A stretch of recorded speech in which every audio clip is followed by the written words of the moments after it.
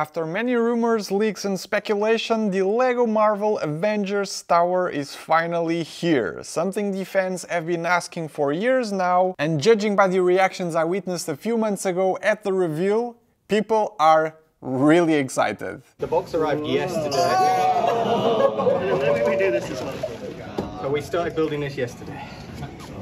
Oh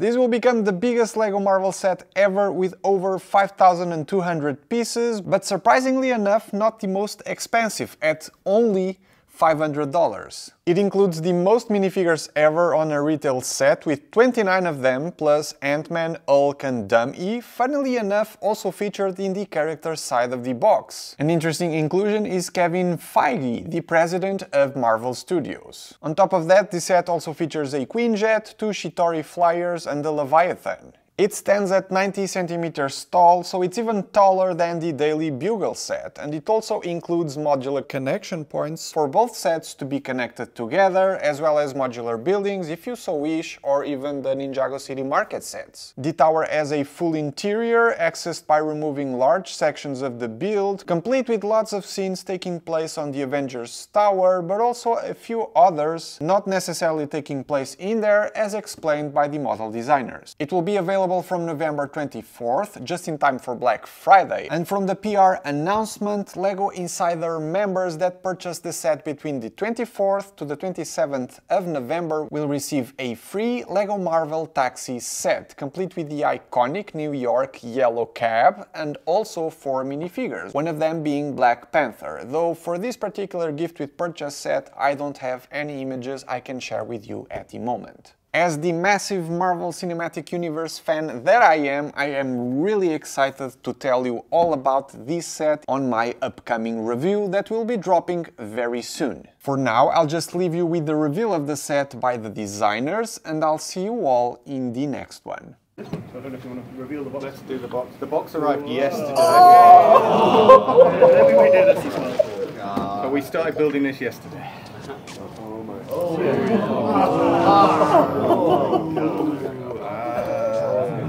It's the most amount of minifigures in a retail set ever. Um, 32 characters. Um, designed by Mark and the team. Yep. I We don't know if you want to take them through.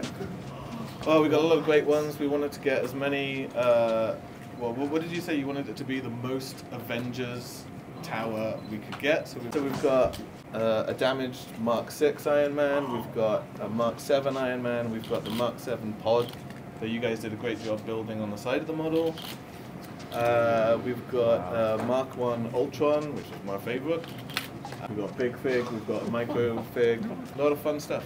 A of fun stuff. Um, Junior was responsible for the Leviathan and um, the Quinjet. Mark and I worked on the main tower. I was also designing Gringotts at the same time, so I wanted to make something even taller uh, than Gringotts, just to annoy George. But um, it comes with a few new elements. We've got this new curved wall element, which you may or may not have seen in Gringotts. It's just they were designed at the same time, but the first idea was to have it in here. Um, we've got a new uh, wig element for the Hulk. So for the first time ever in LEGO history, you can turn the big, big Big Fig Hulk's head, and uh, yeah, his hair will follow. So, innovation. Um, we also have the, the curved posing element, which uh, yeah, a few of the superhero team managed to get in before before us. Yeah, but it was designed for this set. Yep. The the whole model um, is uh, yeah takes takes stuff off. Um, yeah, so it has insides. We have uh, yeah many floors with different fun things to find. Take it off. Yeah. There we are. Wow, look at that.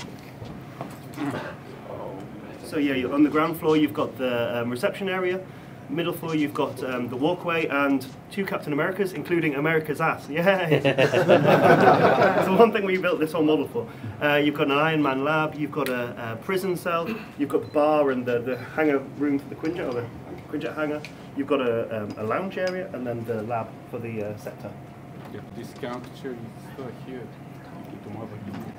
Yep. Um, and it's been a hell of a lot of fun to design. Um, it comes with the modular holes um, and also the modular fix, so you can uh, connect it to Bugle and other superhero sets, but also yeah, your whole modular streets, so Ninjago cities and and you name it, we've got a room for it. Um, it's a full 360 play experience.